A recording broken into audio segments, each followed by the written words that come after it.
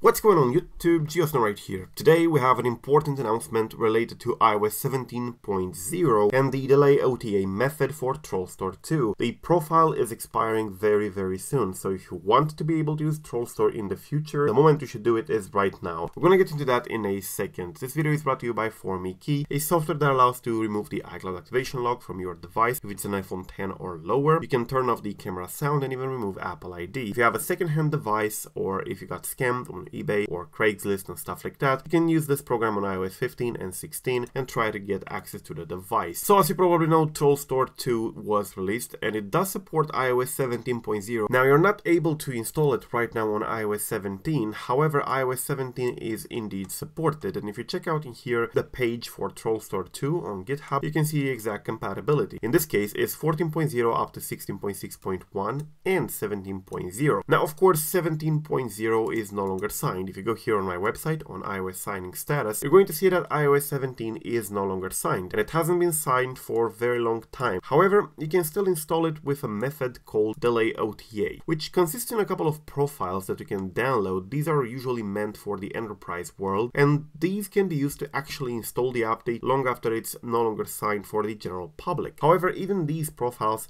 have an expiration date. And you can see here on my website on this page that will be linked below that iOS 17.0 which is compatible with TrollStore and we will be able to install it in the future, does have the expiration date set to today. So it's very, very good if you actually do this right now, because otherwise the profile will expire and you will no longer be able to do it. So you only have like minutes left. You should do it right now. Pause the video, get the profile, and that's it. Follow the instructions here on this page. That's basically it. Thank you for watching. I'm GeoSn0w. Till the next time, subscribe to stay updated and peace out.